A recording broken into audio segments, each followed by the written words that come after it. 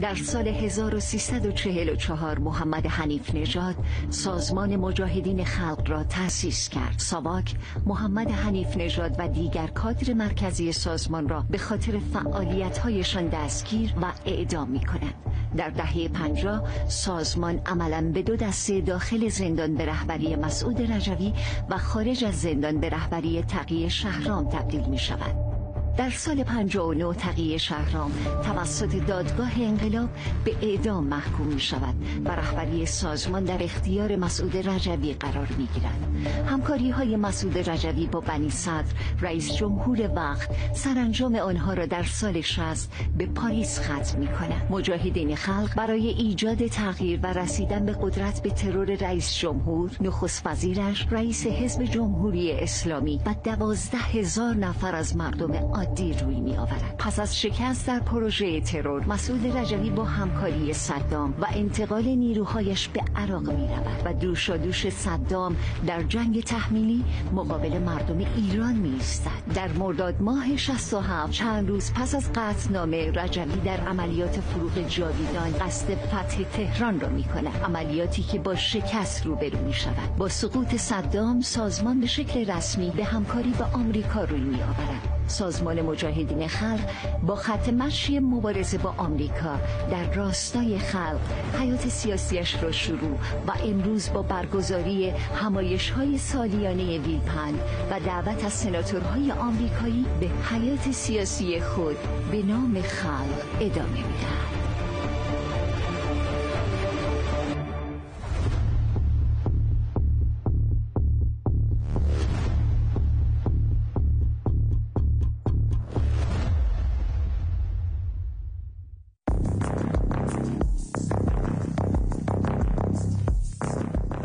ابوالحسن بنی صدر و مسعود رجوی پس از حضور در پاریس و در پی حمایت دولت فرانسه و سازمانهای دیگر غربی به ایجاد یک تشکیلات واحد و بزرگ برای مبارزه با انقلاب برآمدند.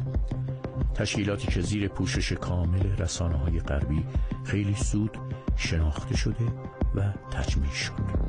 رجوی در فرانسه و بنی از همه جور امکانات برخوردار بودند رجبی به نیاز داشت. به خاطر اینی که پشت در واقع رئیس جمهور قانونی مملکت خودشو قایم کرده بود. خود رجبی گفت که بنی صدر رو قاپیدیم و دزدیدیم و بردیم. این جمله خودش بود. تونست بنی صدر رو خام بکنه بترسونتش ببرتش تو پایگاه های خودش و بعد تظاهرات سی خودراد رو به بهانه حمایت از بنی صدر راه اندازی بکنه درگیری مسلحانه ایجاد بکنه و بعدم زیر پوش بنی صدر برد و در غرب و فرانسه هم بگن که من به رئیس جمهور مملکت پناهندگی دادم. مسعود رجوی برای اینکه بتواند قدرت کامل را در تشکیلات جدیدشان به دست بگیرد با تمام مخالفت های ابوالحسن بنی صدر در یک ازدواج سیاسی با دختر بنی صدر ازدواج کرد. دختر من گفته بود که پدر من می‌گوید که این ازدواج پشیمانی میاره. ولی خواهد دید که نه. مثلا زیانی از این ازدواج حاصل نخواهد شد. من به او جواب دادم که زیان و نفر رو پدر می‌تونه تحمل کنه. مسئله شماست که در آغاز جوانی هستید. وارد همچه آزمایش بشوید با رهبر یک گروهی که با این میثاق را افتاده. اما در عمل من می‌بینم که این هوای همون قدرت تو کلشه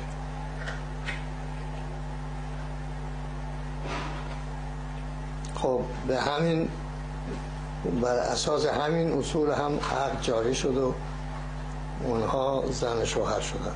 مسعود رجوی با فیروزه بنی صدر ازدواج کرد. گفتم اشرف اشرف شیش هفت ماه کشته شده با موسا خیابانی. چرا این ازدواج کرده؟ چرا فلان؟ این هم سوال بود. این هم بعد بعدها مثلا توی انتقادات و تناقضات خودم مطرح می‌کردم که مثلا برای سازمان مطرح کردم که آره من وقتی اینطوری شد این تناقض به ذهنم زد. حتی من توی بحث های انقلاب که سال 68 توی یکی از نشست ها مطرح کردم تو همون خود عراق. من گفتم که چرا این فیروزه بنی صدر قشنگیه یعنی من دوست داشتم حتی فرزن مسئول رجوی با زنی ازدواج کنه قشنگ نباشه. یعنی در واقع همون کاریزما رو داشته باشه. همون کاریزما که مثلا با اشرف ربیعی که حالا مثلا یه مطلقه بوده فلان فلان فلان. در شروع فعالیت تشکیلات مسعود رجوی به همکاری با حزب دموکرات و کومله های مخالف نظام روی آورد. تا بتواند با ایجاد این اتحاد قدرت نظامی تشکیلات جدیدش را بیشتر کرده و عملیات های نظامیش را بر علیه جمهوری اسلامی افزایش دهد. از سال 62 سازمان حرکتی رو شروع می‌کنه و اینکه نیروهای خودش باقی مونده نیروهای خودش رو فرا می‌خونه و اینها رو به کردستان منتقل می‌کنه در همکاری با حزب بعث عراق و گروهک کموله و گروهک دموکرات. مشخصا با دموکرات ها حزب دموکرات کار می‌کنن علیه رزمندگان اسلام و علیه مردم بومی کردستان که نمی‌خواستند ننگ همکاری با دشمن بعثی رو در واقع تحمل کنند و می‌خواستند به عنوان یک مسلمان به عنوان یک ایرانی مسلمان زندگی شرافتمندی داشته باشند حضور مجاهدین خلق در منطقه کردستان هم در واقع باعث میشه که اینا ارتباط تنگاتنگی با رژیم بحث پیدا کنن از سال 62 تا سال 63 و بعدش. و جالبه که بعدا مجاهدین خلق و حزب دموکرات هم دچار تنش و درگیری میشن که این دیگه مقدمه پیوند اونها با صدام هست. این استراتژی سازمان ابتدای انقلاب این بود که رأس نظام رو بزنه و بعد یک به اصطلاح معروف سیاسی کودتای قصری انجام بده و حاکمیت رو به دست بگیره با نیروهای مسلحی که داره و خودش مثلا میگفتش که الگوی مثلا انقلاب کبیر روسیه با تعداد خیلی کمی مسلحانه انجام شده. خیلی انقلابای دیگه کوبا یا جای دیگه با یک مسلحانه مثلا اومده حاکمیت رو به دست گرفته. این قصدش بود. خب این عملی نشد. رفت دنبال زدن سرانگشتان نظام و بعد دیگه ترورهای گسترده و به قول معروف مثلا حتی هر کسی که ریش داشت هر کسی که عکس امام تو مغازش بود به این صورت دیگه حتی بعضی از این تیمایی که من باشون صحبت کردم می‌گفتن که ما در لحظه هم بازجو بودیم هم بازپرس بودیم هم قاضی بودیم هم اجرای احکام بودیم هم مجری حکم بودیم. در چند دقیقه همین پروسه اجرا می‌شد و طرف اعدام می‌شد مثلا. تشخیص می‌دادیم که این باید اعدام بشه. من خودم اونجا در صحنه قاضی و مجری بودم. خب اینم نشد. یعنی غربی دیدن که واقعا که دیگه بعد از پنج سال که رجبی در پاریس بود کفگیرش به تاییدی خورد و خبری از سرنگونی نیست و از خبری هم از مجاهدین خلق در داخل کشور نیست.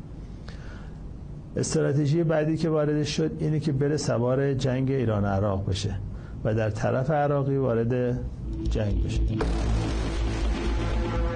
ازدواج سیاسی مسعود رجوی و فیروزه بنی صدر هرچند مسعود رجوی را به خواسته های اولیهش رساند اما زیاد دوام نداشت و پس از تصمیم رجوی به استقرار در عراق که آن روزها درگیر جنگ با ایران بود فیروزه بنی صدر را بر آن داشت تا از مسعود رجوی جدا شود.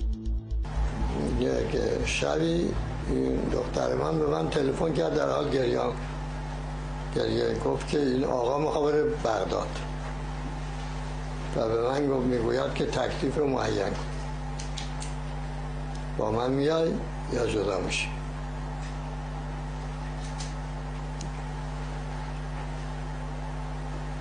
گفتم خب شما چرا گریه می‌کنی؟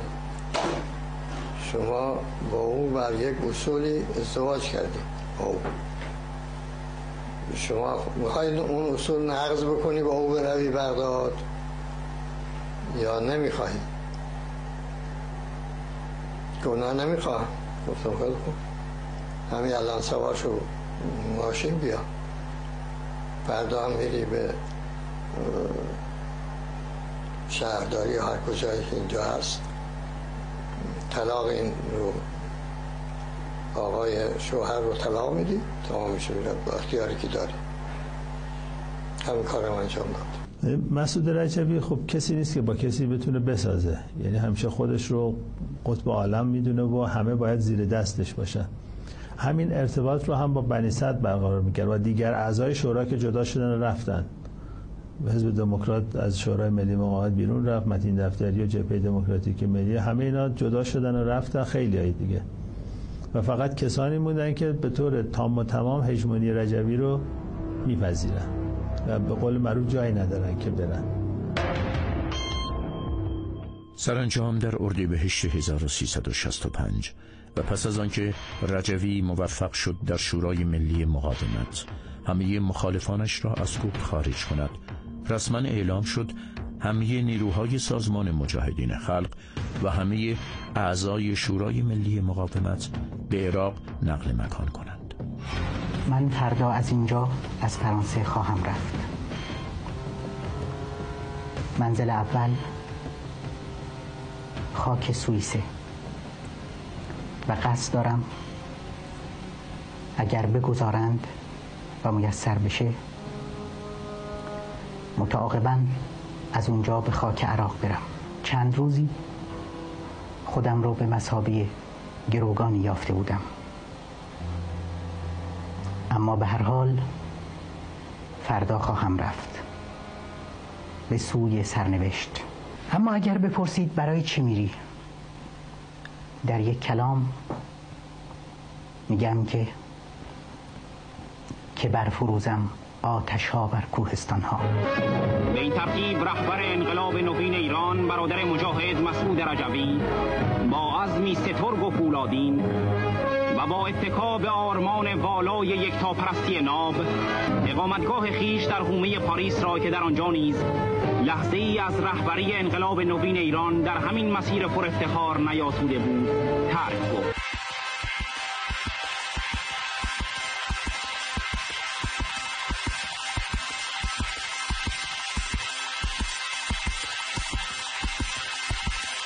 17 خرداد ماه 65 رجوی وارد فرودگاه بغداد شد و مورد استقبال مقامات بلندپایه عراق و رسانه های بحثی قرار گرفت.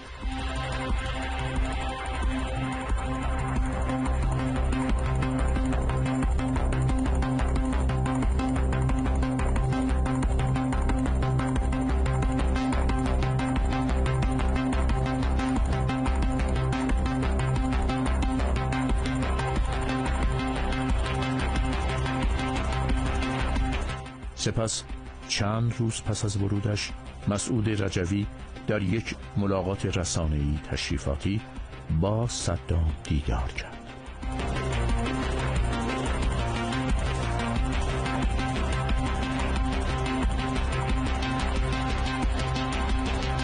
به توصیه غربی ها وقتی که دیگه اون اقدامات در داخل کشور شکست خورد و تمام نیروهای سازمان از بین رفتن و دیگه کسی رو نداشت که در داخل ترور انجام بده به توصیه غربی ها و به توصیه آمریکا مقرش رو منتقل کرد به عراق و رفت زیر در واقع جزء ارتش عراق در جنگ با مرزبانان و مدافعان میهن قرار گرفت.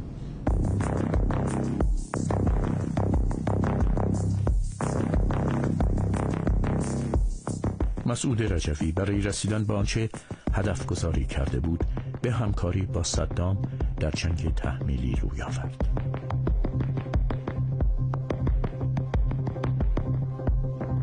که بر اساس این طرح وارد رفت به عراق ارتش آزاد بخش ملی رو تشکیل داد نیروهاش همه رو برد اونجا و از طریق سیمای مقاومت اون موقع تو مرز و رادیو مجاهد افرادی رو اخفال می‌کرد و جذب می‌کرد و از خارج از کشور خیلی رو جذب کرد. اون موقع به ما نگفتن که ما تو عراقیم. به ما می‌گفتن که می‌خوایم بریم منطقه مرزی. خب ما تو تصورمون می‌بریم ما کردستان.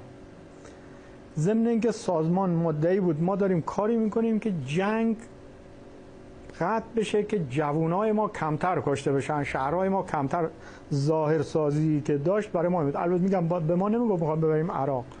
به ما می‌گفتن شما قرار اعزام بشیم به منطقه مرزی تصور ما هم کردستان بود چیزی که داشت تو رادیوشون هم فضایی که می‌دادن این بود که تو منطقه کردستان هستن پس از ورود مسعود رجوی به عراق بلافاصله همه تشکیلات سازمان مجاهدین خلق به عراق منتقل شدند.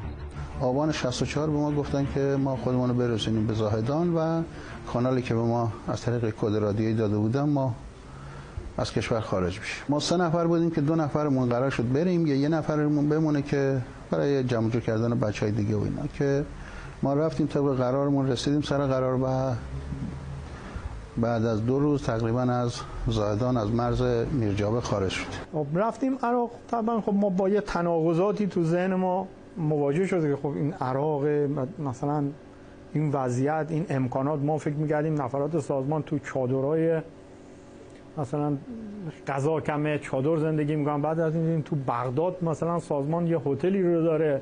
امکانات که بلاد فرودگاهی که ما مشکلی نداشتیم مثلا نه بازرسی بدیم نه چیزی. خب این نشون از یه چیزی داشت. بالاخره هر کسی تو کشور خودش اونم موقع جنگ ایرانی رو خیلی راحت اجازه نمیده بره. ولی ما می‌تونستیم.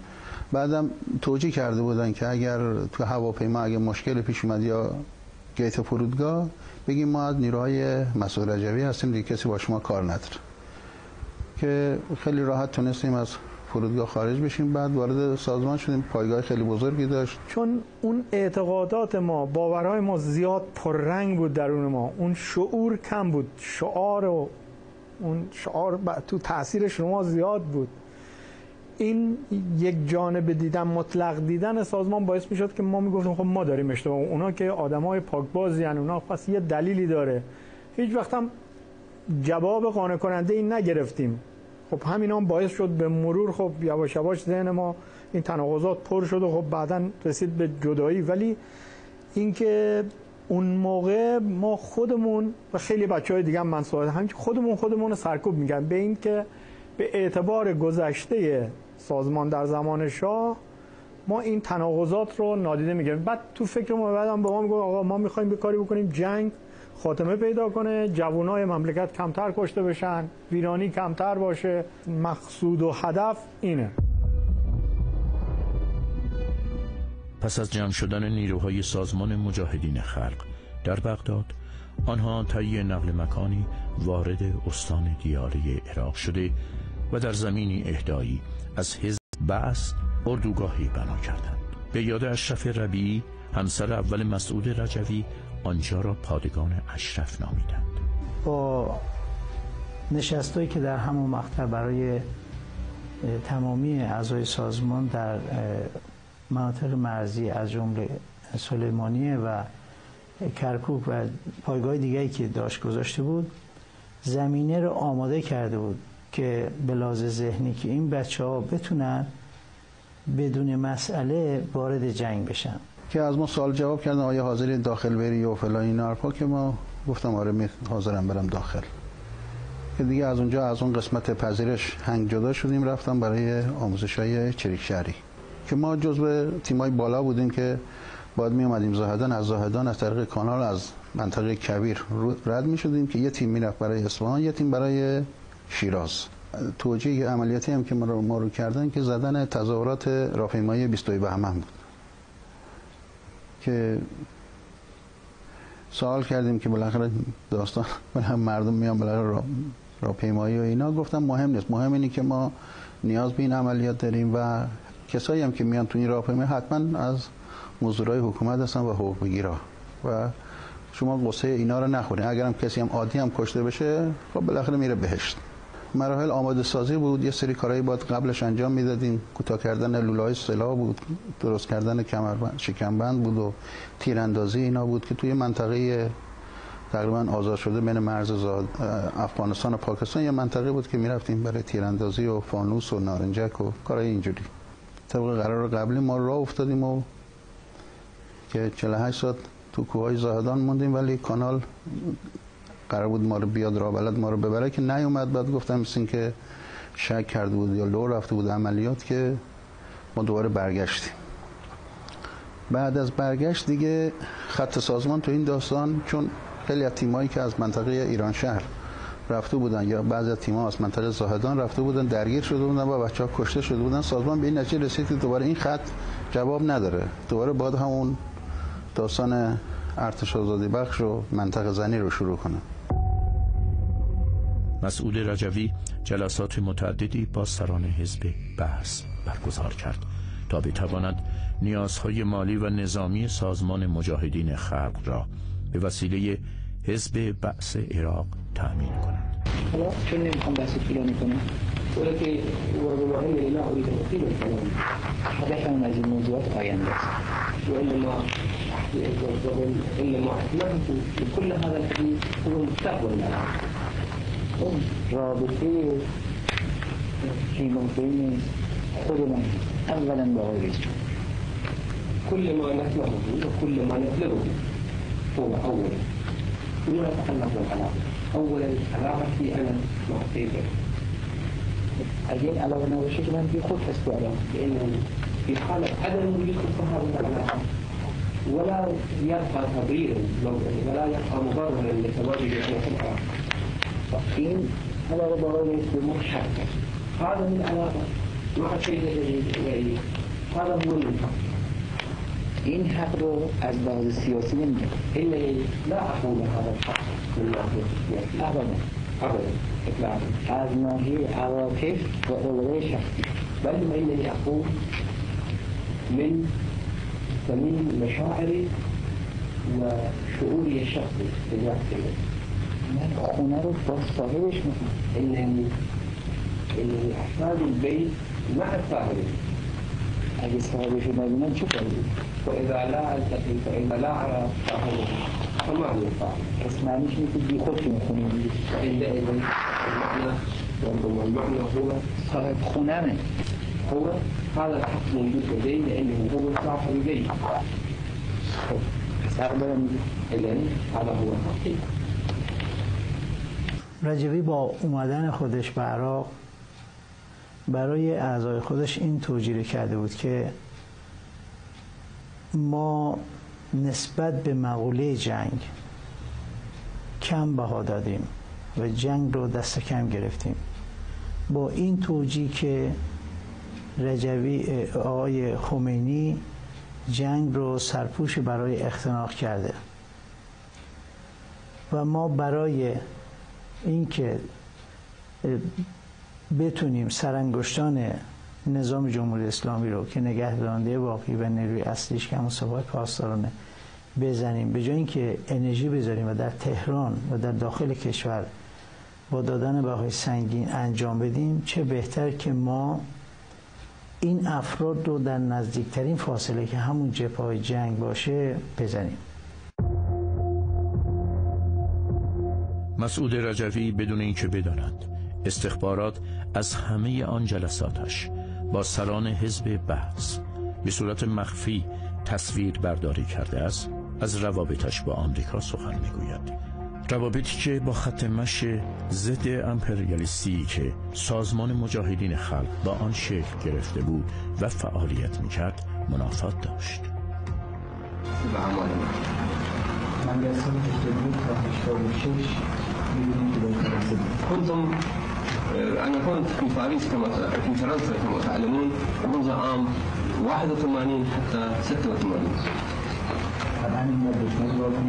طبعا من تلك السنوات لم يكن حجم الإداء ضدنا كما هو الموجود لم يكن يطلق أحد علينا صفة الإرهاب والإرهابي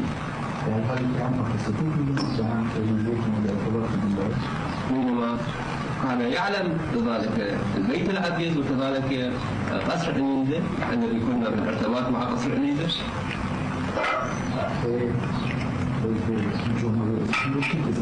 بأنهم كانوا على علم من الذي فجر مبنى حزب الجمهوري في إيران؟ ومن الذي يعين جهة التي قضت؟ على رئيس هذا النظام وعلى رئيس الوزراء هذا النظام. وقضى عليهم. هم كانوا يعرفون. ولكن لم يطلقوا عليه صفة الإرهاب والإرهابي أبدا. وكانوا يعلمون جيدا.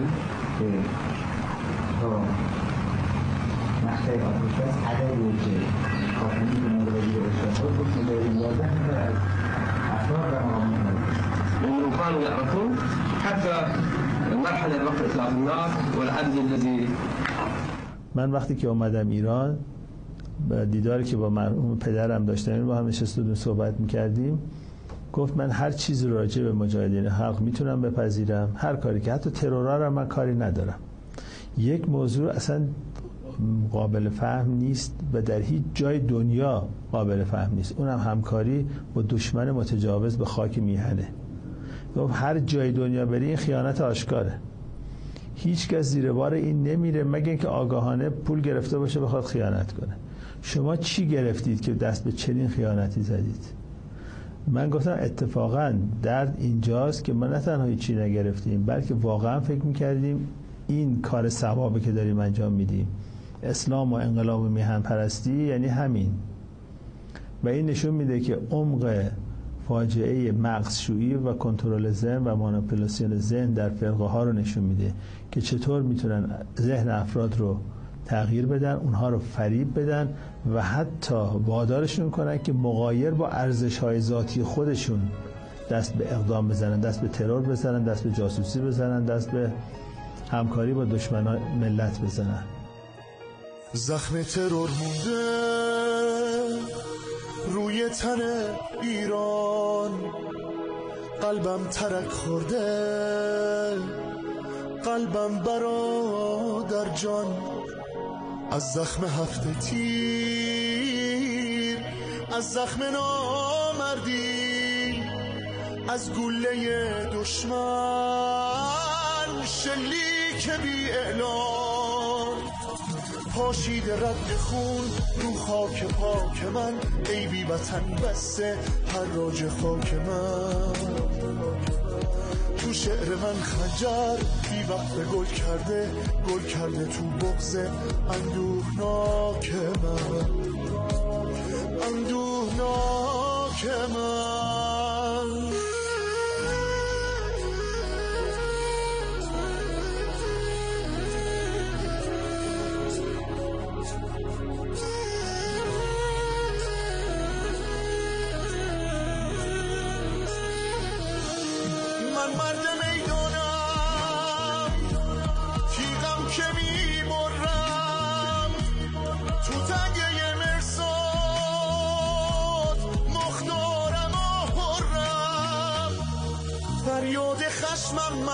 رگبار تیرم من آسون نمیمیرم شیرم که میقرم تو سید من میشی تو پنجه سیاد فرقت رو میکوبن با تیشه فرهاد. دور از تو ای ایران سودای کفتاران دور از تو خواب بد آزاد باش آزاد آزاد باش آزاد.